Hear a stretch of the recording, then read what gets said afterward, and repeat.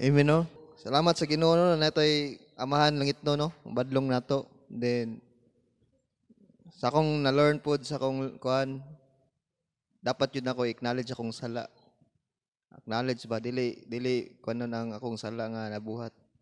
So ngay ko sa physical, ngay ko pasaylo simbahan. Ngay ko pasaylo church wag last Sunday wala ko ka balik.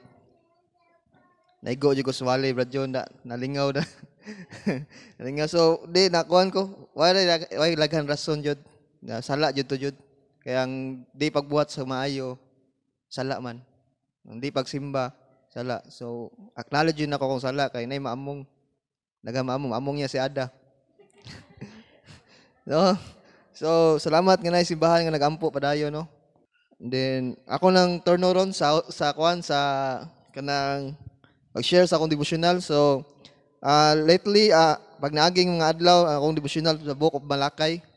Then nahuman ako sa Book of Malakay. Then gusto ko i-share sa ang Book of Malakay but uh, ang Book of Siya lang ako i-share kay murag igo jud ko ani. Igo kay ko ani nya. Igo po ko atong Malakay pod. So sa ako ni devotional so I hope nga namoy makuha pod sa lesson pod ali sa Book of Hosea. And then uh, piyong lang ang mata magkampo ta. Let us pray. Amo lang itong amahan. Ginoo, salamat Lord God sa imong mercy and grace.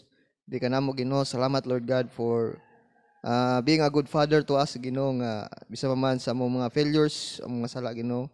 Ikaw nakahigugma ka namo kami mga sala Lord God.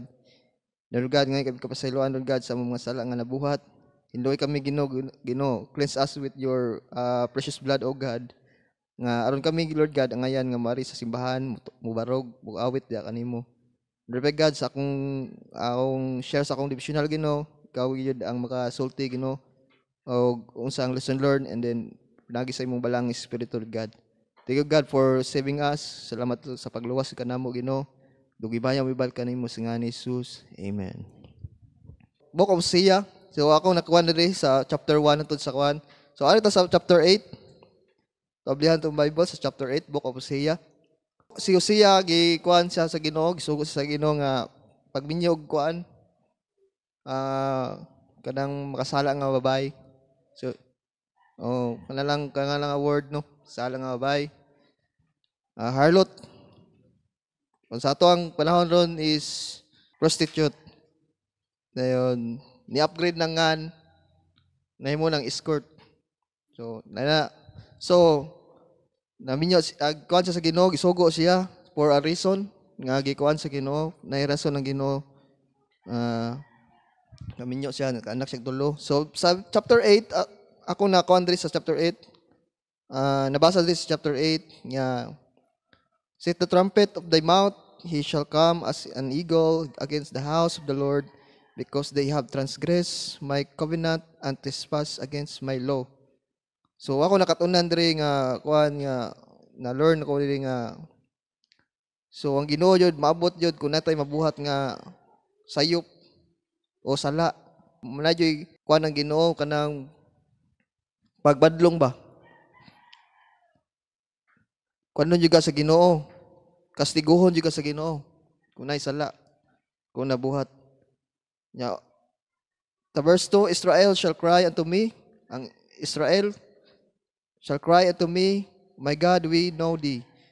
So, mao ni kung ang Ginoo nagjud mo kuan, hilak-hilak jud ka.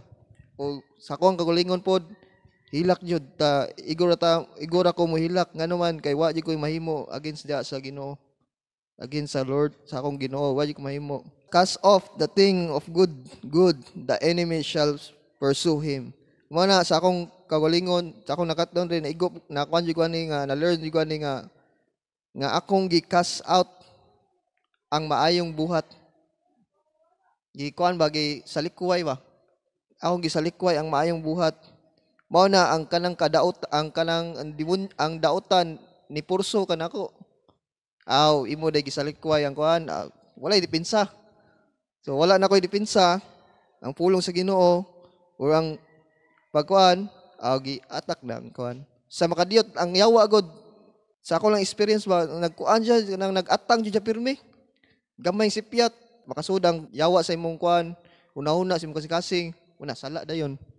Is cute mo sala. So mo na ko nga diri na learn sa verse 3 and then verse 4 they have set up kings but not by me. They have made princes and I knew it not under silver under gold have they made them idols that they made that they may be cut off. So, diri part, diri nga part, diri nga part nga verse, nakoy nasa ako kaulingon ba? Nga nay gusto nga tay i-build i-build up ba sa to kaulingon sa to kaulingon ba? Nay kanang gusto kay kani for example ng uh, akong gikuan karon nga basketan ako giugma jud ako gikuan but sa dihang naka, naka-realize ko naka nahimo na siyang hindrance sa akong pagsimba nakarealize ko nga nahimo na nako siyang idols. Kay nakuha naman ang kuan sa Ginoo. Ang tayo panahon para sa Ginoo. So, mao na di jud siya mapadayo di jud manindot ang result sa pagpaliga kung unahon na kong baskitan. Dapat sa color sa kulakotan ba? Kay mahimo na ko siya idol. Dapat unahon na kong Ginoo. So Sunday, man akong gikuan sa gulingon nga focus ko da sa whole day. Man ako palingkamutan nga butang sa kulingon nga mukuan ko din ana kong di ko mulakaw ika hapon. Focus na ko sa Sunday to worship sa God. Sigdaan na sila, bahala na sila. Diya kay mahog na siya nga himo siyang idols. Ma-idol ako. So God ang Ginoo hate ba niya ang kanang dili siya si bahon.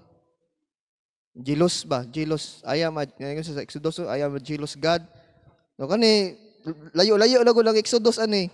Yan sila suko jud ang Ginoo nila kay sa una pa lang sa Exodus ningon ng Ginoo I am a jealous God. Ya kani sa book of Siyad layo-layo na sila naadto, atuan. Nalayo na ang kwan, mao Japon ang ilang gibuhat. Na sila yung mga idols.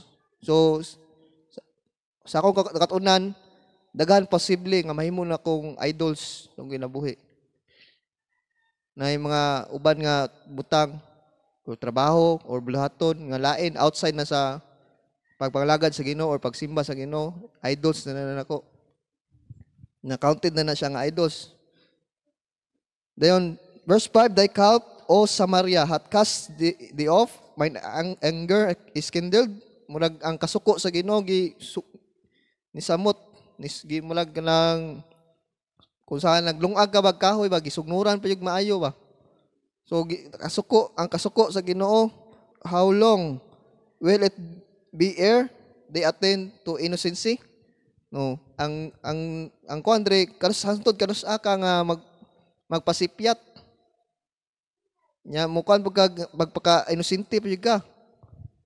So mao na ako nakawan pod nga Nabatayan ako na pass na ko nga mga kuan months. Nadyo nadyo Sunday nga ma-failure ko. Ng mga pass na ko pass no. Mo na nakuha na ko nga kantod kanus ka magpakasipyat. So mo ni nga nakuha na ko sa bulaton sa Ginoo sa kani diri sa simbahan. Mo na nga nakuha ko nabadlungan ko nga di jud ningkamot jud nga ma-perfect ba? Mapagsimba ba? pag last sa third day ba to, last kwanto nga, ako to nung ingo no, nga gikawat, seven days, gikawat, gitunga. So, mura po nga, mura po nakuan ko na, na libadlong, nakuan ko sa gulingon, mga, sigo na una ba, sigo, nakuan ko sa gulingon nga, ganang, murag, ako po naigo sa pulong ba. Mura ito nag, ni un, ni bisyo na ni undang ni balik. Ano ba murag naigo na sa pulong ba. Mo na nga Yawa jud nagatang jud pirmi. Nagatang jud pirmi nag imong mga pulong mingon ka nga mingon ka nga kuan ko mga laga jud sa Ginoo nagatang jud pirmi ang yawa nagatang ang dautan. So mo ni sa ako lingon nga naa jud kanang roaring lion ba sa akong kilid. Nga sa pila ka sekundos nga masipyat ko lamyon din ko dayon. So verse 6 for For from Israel was it also the workman made it, therefore it is, a, it is not God, but the calf of Samaria shall be broken in peace. So, mao ni na naslay naslay gibuhat nga kuan nga dibulto. Nya ang, ang Ginoo siluso man. Ganahan siya siya lamang ang simbahon. Unsay baton sa Ginoo shall be broken in pieces. Kay di ganahan ang Ginoo lagi nga di siya di siya nun di siya i-priority ba? I-priority siya sa Sabado sa Wednesday sa Sunday labi na Sunday yun. Sunday kay kung di ka kasimba og hapon ang imong bawagtang ang imong katunga sa imong kagalingon ang kalipay ba no? Mawa ang kalipay mo nagbugat man no bugat. Mo na i-pri- priority i-priority yun ang Ginoo. Kay ngano unsa atong gi kanang uh, kaliwilihan gubon yun na sa Ginoo. Kanang wala na sa ka- kabuton sa Ginoo ba outside na sa kawan sa Ginoo gubon yun na. Pwede possible pwede mahimo ang imong trabaho ang imong unsa pa na imong gikalingawan gubon yun na sa Ginoo. Ano man gusto sa Ginoo nga ma-focus ang ma-focus ang iyang anak sa adlaw sa pagpanimbahon adlaw sa paghimaya kaniya then kabaw naman ta nga naan kabaw kani mga Israel kani sa akong nakatunan ani sa kani mga Israel kay bahaw na ni sila nga ang Ginoo siluso kay bahaw na ni sila nga ang Ginoo kanang kanang di ganahan nga di siya simbahon ba? Kay bahaw sa panahon pa lang ni Moses no? Ni badlong na ang Ginoo nya ila ja pud sige buhat Mano pud ako nakatunan pud sa hulingon nga kuan naman nga sala balik naman ni nga sala. Nya kay bahaw nako nga kung makasala mabuhat ko ni wag tangan ko kalipay ni ngano man nabuhat naay po problem. Nakasuhod ang dautan nakasuhod ngano man nakuha ang dipinsa man. Ang dipinsa niluag ang dipinsa ba? Nya nakasuhod pagsuhod liya pag ang dautan. So nakasuhod ang dautan sa akong kuan nalingaw na ba? Katong gikuan ni Brad nalingaw na nalingaw wa ka bantay sa panahon wala ka bantay sa oras wala ka bantay sa kuan wala nagilamoy na sa ah dautan so di ari ari sa kuan sa verse 11 para kuan sa tong time. Verse 11 because Ephraim hath made many altars to sin daghan kay altars no? Sa sala altars shall be unto the, to, unto him to sin. Mo ni sa atong sa akong kagalingon daghan ngay mga altars na altar sa sala. Diin kanang altar balik-balik ra na nga sala nga mabuhat nako. Mo na gusto sa Ginoo nga ipatangtang na nga altar. Ipuli ang iyang altar.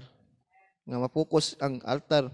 Mapokus ko diya sa altar sa Ginoo. Altar diri sa ako sa Ginoo nga sulod ka nako. So ang istoryahan ni si Ephraim pero kanin sa akong na-learn ani sa akong kaulingon na mga altar sa sala na dapat nako tangtangon. Dapat kwaon ako. Ya, unsa ko kapinangga sa Ginoo verse 12 I have written to him the great things of my law. Ang put pasabot ni ang iyang pulong gisuwat dia. Gi-remind jud nako per sa kuha permi. Gi-remind great things written gisuwat. Ang great things to my law. Unsay akong gibuhat? But they were counted as a strange thing. Kabaw ka na unsay ng strange thing? Wala ra ka. Nay na mabot na siya, oy nakita ka na strange thing. Wala ra nimo. Ano ba? Ma, uy, strange thing. Wa ta kay ni, wala na. So mao pod mao ni ako nakuan nga ang mga preaching, ang pagwali sa diri sa pulpit nahimo na nung strange thing. Nya wa to wa din ako nakuan na, nakuan sa walingon mao to akong dipinsa. Mao to akong defense nga pulong nga angay nako i-counter sa yawa sa dautan. So mao ni akong mga sipyat nga Ginoo pinangga mao nag shots love jud ko sa Ginoo pinangga jud ko sa Ginoo gisuwetan jud ko sa Ginoo gisuwat gisuwat jud niya ang iyang pulong para sa kuha tong para sa kuha nga mas makadigon pa akong depensa ug mubarog pa ko as a Christian nga pulong so mo na ang pagwali diri di di di ko di, di ka nang dili ko nang dili kawang ba nga makatunan jud. Like atong so giwali ni Brad Mike nga makasala ka, na maamong. Na maamong nga imong nga pamilya mo to. Pag adto nako sa Talamban, anak kay kagaanan niya, slide kayo. Anak jud kay kagaanan niya. Bikado ba? Kuya kayo. Pasala ba ko? Bay ganin ay kukuyog nga simba whole day. Bay. Ay, nakasala ba ko? Sigo anak Lord. Sa iluay. sa akong nabuhat Lord. Pero ang gaganan anak nakaganan. Anak yun muliko. Lam lam. Tagsay sipyat ani. Mo ko nagahon na ko ba nga ko baya maamong. Pero salamat jud sa Ginoo nga gigugma jud ko sa Ginoo. Gi kuan jud ko gi-remind lang ko daan sa pulong ba. Kay nana na jud may tabuan agod nga imo makuha ng Ginoo. Na jud may tabo nga na uban ba uban may tabo nga namamatay pastor kay to namatay tungod sa sala ba na kuan nya natoy pastor nga kuan nat, natunok ra. Na kuan tunok ra ya sala ba? Mo na ako nakaingon nakarimay ko sa ulingon sala mo sa Ginoo biya. Mo ko balik to pag Sunday. Mo na sa Israel padayon Japon ilang sipyat ani padayon Japon sa buhat sa ilang pagkadautan pag sala nga man. Wa man sila wala lagi acknowledge silang sin. Ilang sala ba? Wala lagi acknowledge nga sala ko, nakasala ko Lord. Wa sila ni hands up ba nga, Lord, sa ilo ako nakasala ko. Verse 14, For Israel hath forgotten his maker and builded temples and Judah hath multiplied fenced cities but I will send on sa send I will send a fire among these cities and it shall devour the places thereof. Mo unsa ato i-build up sa kalibutan business ba na nga way labot ang Ginoo? O panginabuhi nga way labot ang Ginoo? Or unsa ba na ang kalingawan sa kalibutan? I-debar ikuan din na gubon na sa Ginoo. Nga naman the more ka mo paduol na nga kuan the more pod nga palayo sa Ginoo. And then sa chapter 6 last verse ato akong akong nakuan jud ang kanindot sa Ginoo. Chapter 6 verse 1 come and let us return unto the Lord, for he hath torn, and he will heal us. He hath smitten, and he will bind us. Mo ni nakanindot sa nag-concern yun nga ama, langit ng amahan. Concern nga Ginoo. Balik kay ako mukastigo ko.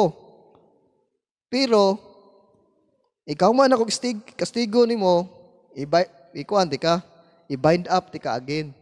Pakanon ti ka. Pakanon di ka, pulong sa Ginoo, strengthen ka balik sa Ginoo. Mo ni nakalindot sa uh, na, na, natay Heavenly Father nga mo kanto sa mao akong devotional sa, uh, sa I hope nga namoy na learn book of Hosea.